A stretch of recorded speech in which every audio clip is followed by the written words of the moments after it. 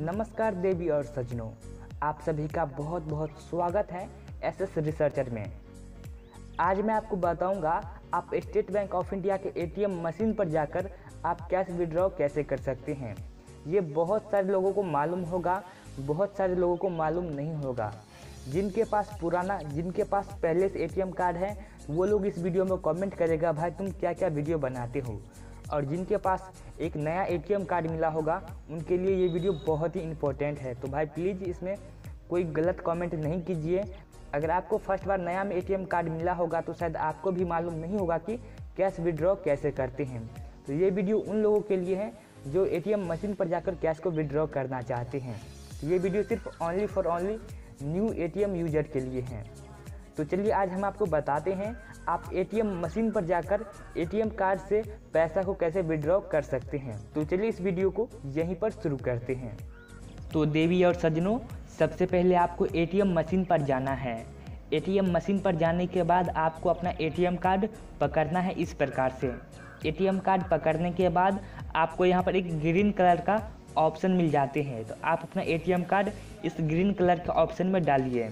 जैसे ही आप इस स्लॉट में आप अपना कार्ड डालते हैं और आपको यहाँ पर कार्ड डालने के बाद आपको दो से तीन सेकेंड तक आपको अपना कार्ड इसी में रखना है। उसके बाद आपको अपना कार्ड निकाल लेना है।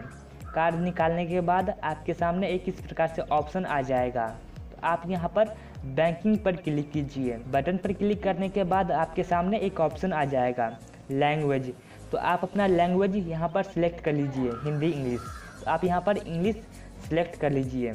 उसके बाद आप यहाँ पर देख सकते हैं तो आप यहाँ पर देख सकते हैं इंटर एनी नंबर तो आप यहाँ पर 10 नंबर से लेकर निन्यानवे अंक तक आप यहाँ पर कोई भी टाइप कर सकते हैं। 20, 30, 40, 50, 60, 70 कोई भी नंबर आप यहाँ पर टाइप कर दीजिए।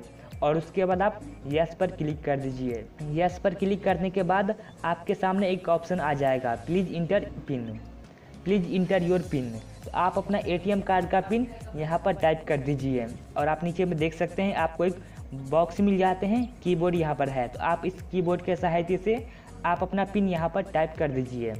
पिन टाइप करने के बाद आपके सामने अपने आप एक इस प्रकार से पेज आ जाएगा। और आप सेकेंड ऑप्शन में देख सकते हैं कैश विथड्रॉल तो आप यहाँ पर कैश विथड्रॉल पर क्लिक कर दीजिए। क्लिक करने के बाद आपके सामने एक ऑप्शन आ जाएगा। From current from saving. तो आप यहाँ पर फॉर्म सेविंग पर क्लिक कर दीजिए। सेविंग पर क्लिक करने के बाद आपके सामने एक ऑप्शन आ जाएगा, प्लीज़ इंटर अमाउंट। तो आप अपना अमाउंट यहाँ पर टाइप कर दीजिए इस कीबोर्ड के सहायता से। अमाउंट टाइप करने के बाद आप यस पर क्लिक कर दीजिए।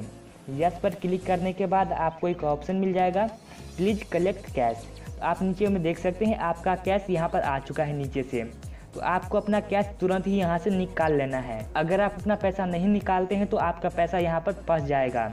और कैश फंसने के बाद आपका बैलेंस आपका पैसा कोई दूसरा लोग ले जाएगा। तो इसलिए आप अपना अमाउंट फटाफट से यहाँ से निकाल लीजिए। आप अपना स्लिप ले लीजिए यहाँ से। तो देवी और सज्जनों, आशा करते हैं कि आप सभी को ये वीडियो पसंद आया होगा। तो देवी और सज्जनों अगर आपको इस वीडियो से थोड़ा भी कुछ फ़ायदा हुआ है तो आप इस वीडियो को लाइक कर दीजिए। हो सके तो शेयर भी कर दीजिए।